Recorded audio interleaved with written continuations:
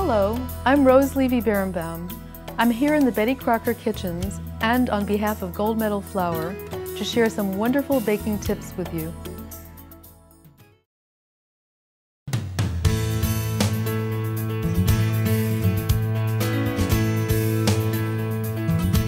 I absolutely adore walnuts, not only for their flavor in a cake, but also for how beautiful and crunchy they are on the outside of the cake to decorate buttercream. Walnuts are very high in oil though, and so they are prone to rancidity. If you've ever tasted a rancid walnut, you'll know that it just is inedible and ruins the entire whatever you're putting it into or onto. So the way to know for sure is by tasting a walnut because if there's one rancid one in the batch, they'll all be bad. Now the other thing to know about walnuts is that, and all nuts for that matter, is that toasting them lightly brings out the flavor.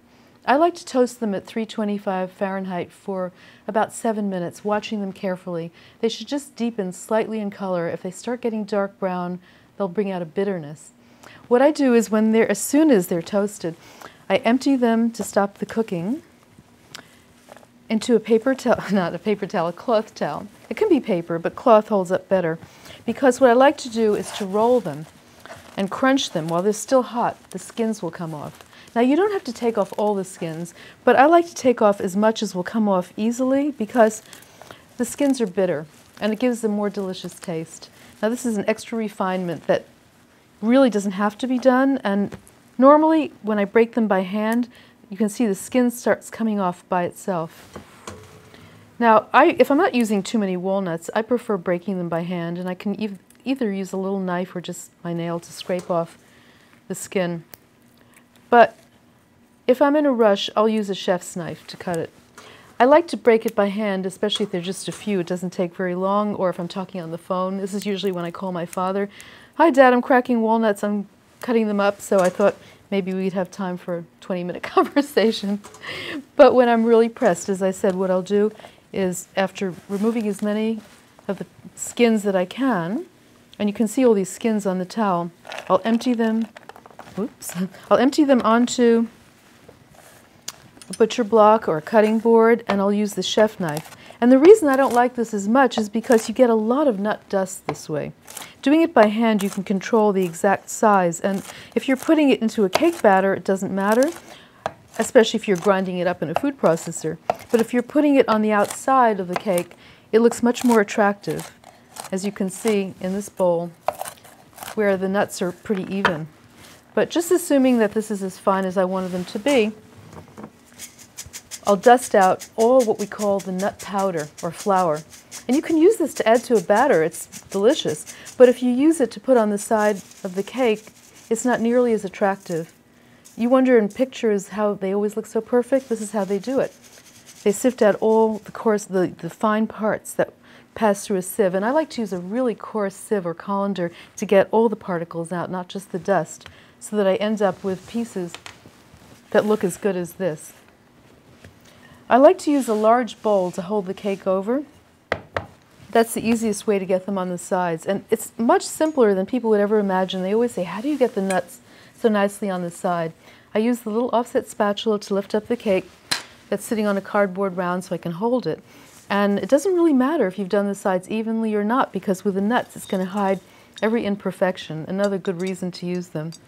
And see, I'm holding it over the bowl and just pressing them in. And if the buttercream is cold, it won't hold. So the buttercream needs to be either at room temperature or you can wave a hair dryer set on low over the sides, not to melt it, but just to soften it so that they hold the sides, that the nuts really cling well to the sides.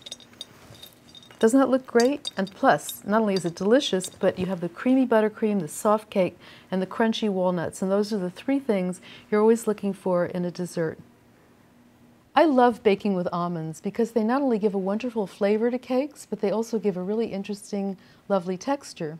But there are different types of almonds to purchase, and there's often a lot of confusion as to which the recipe writer meant for you to use. These are whole, unblanched almonds with the peel still on. And these are the same almonds that are called blanched, which means that the peel is no longer on them.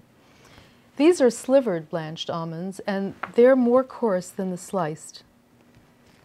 These are the sliced blanched almonds, and these are the sliced unblanched almonds. And these are my preference because not only does it give a slight flavor having the skin on, but it also gives a slightly deeper color. But you can use them interchangeably, and this is my preference also because when you grind them in a food processor, they turn to powder rather than to paste. If you were to start with a half a cup of these almonds, or any given amount, and you put it in a food processor, it very easily turns into a pasty, oily mixture. And even the slivered almonds are not quite as easy to grind up. And my secret is that I use a little bit of sugar to grind it with or a little flour with any of these, and you get a more powdery quality. But another important thing is that sliced, slivered, and whole weigh different amounts if you use the same measure. So you will see that a half a cup of the sliced almonds is going to weigh differently from, say, the whole almonds. The first thing you do is you put it on the scale and tare out the weight. And this is the My Weigh scale, which is my favorite scale because not only is it super accurate, but it also is really affordable and it switches easily between grams and ounces. So I've tared out the weight of this cup, or this is half a cup actually, and here's why I really prefer weighing to measuring in the first place because a half a cup of anything that's ground up or sliced or, or whole is hard to determine exactly where it's level. Is it slightly domed? Is it slightly concave, missing a few almonds? But it's not that serious. okay, now this is the half cup of the sliced, and it's 42, 43 grams. Now you'll see what the whole weighs and how different. And because these are whole, it's even harder to get them level. In fact, it's probably impossible. All right, will be more fair. See, this is 74 grams or 72 grams, so it's just completely a different weight. And that's why if you don't choose the right nut or the nut that the author intended, you'll end up with a different recipe. Maybe one you even like better.